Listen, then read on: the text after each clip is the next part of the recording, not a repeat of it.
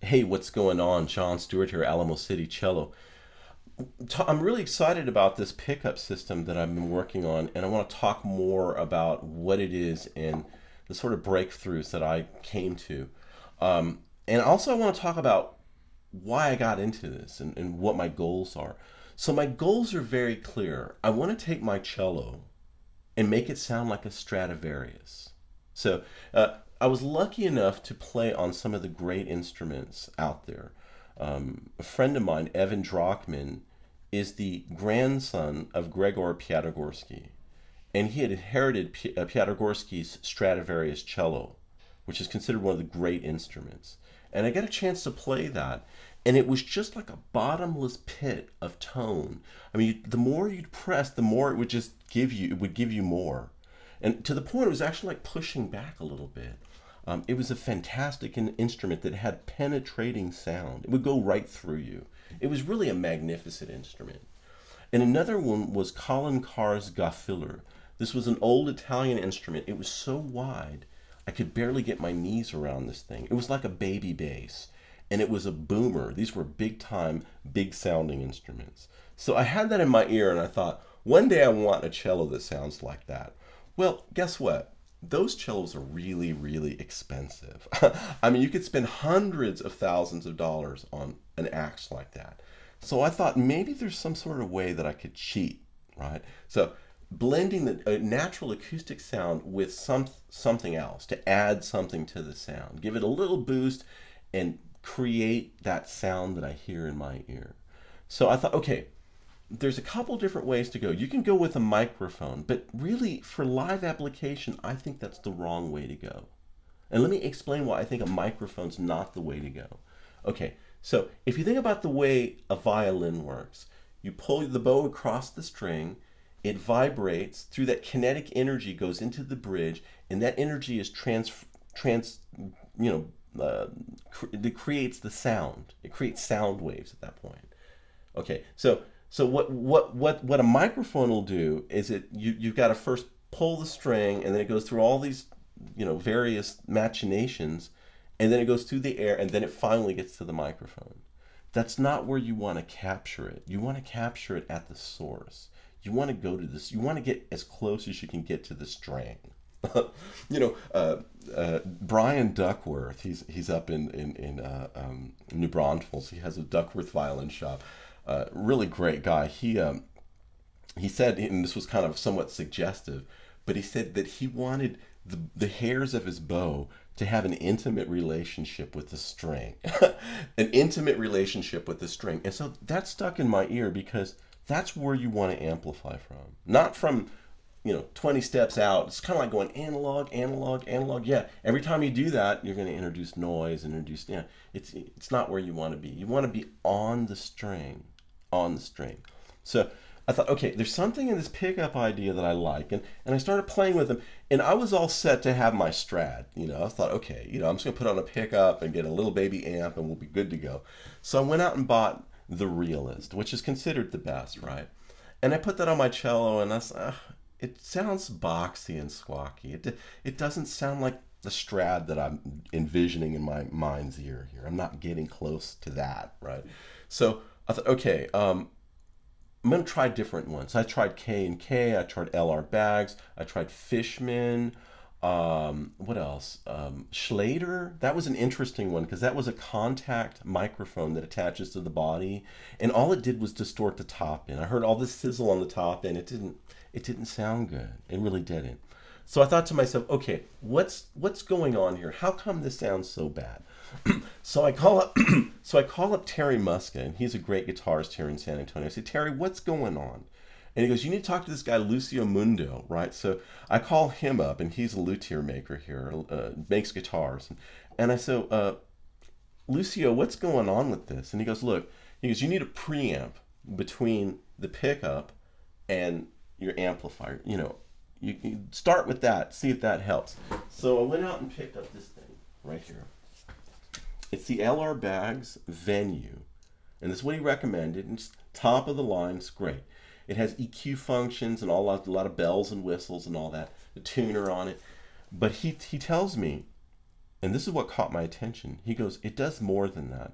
He goes, it matches impedance between the pickup and the amplifier. So now I had heard a little bit about impedance from ham radio operating. You know, take a test, and they, you know, they, they start talking about impedance in, in, in, elementary school and all that.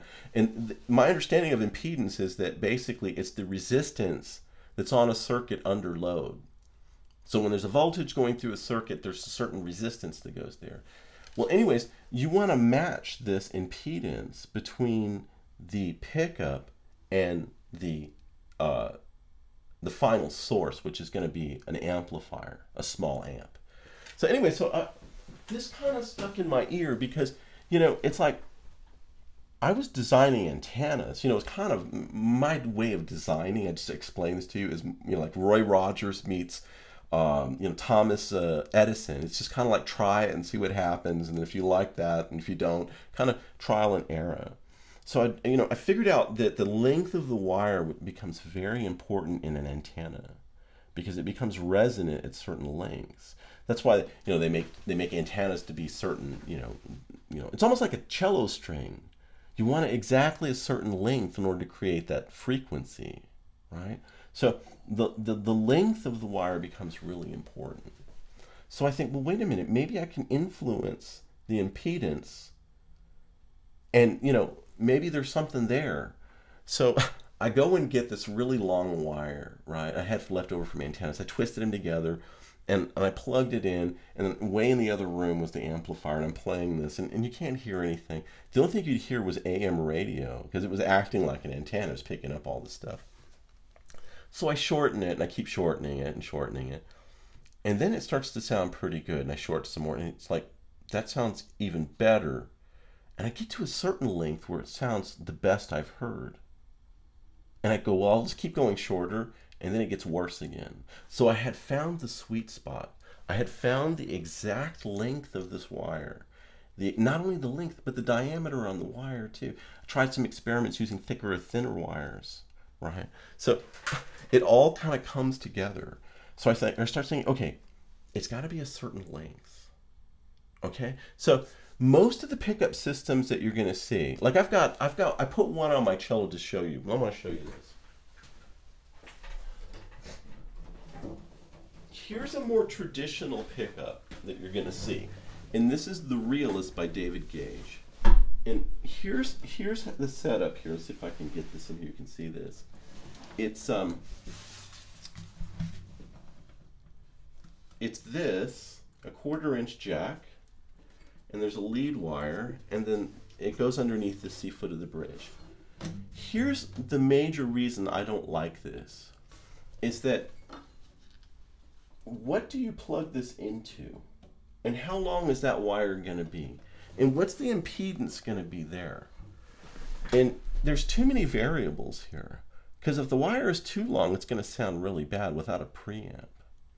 But if you get that length just right, and you have that terminate in a quarter inch, just keep it keep it simple. Keep it real simple, right? This just you, you just go into quarter inch jack. You don't need to, you know, it's masculine quarter inch. Just goes right into an, an amp direct.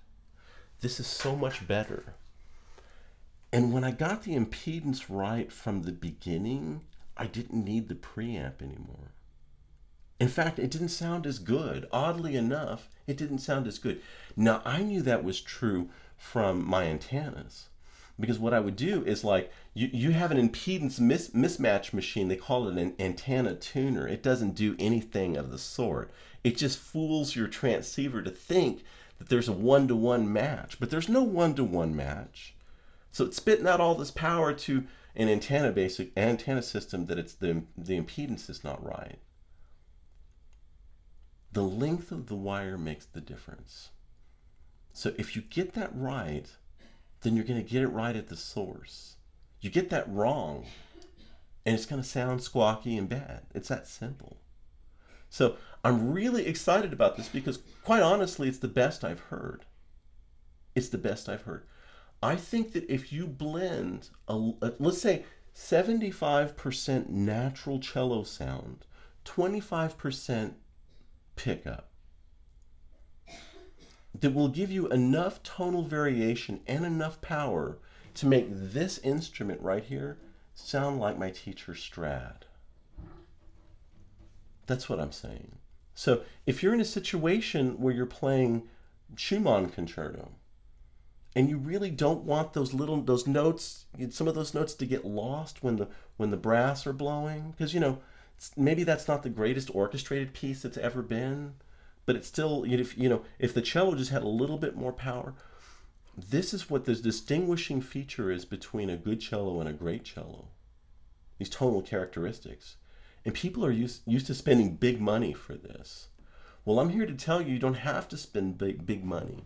You can get there with what you're, the acts that you have, with a little help from technology.